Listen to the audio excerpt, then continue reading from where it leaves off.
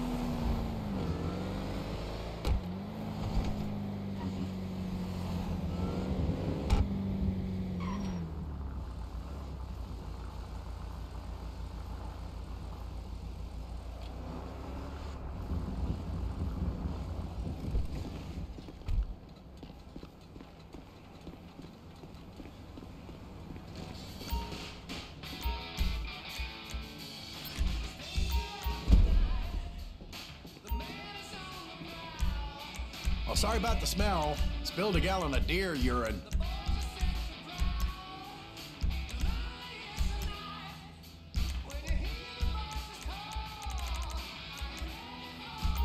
I don't keep a record of purchases.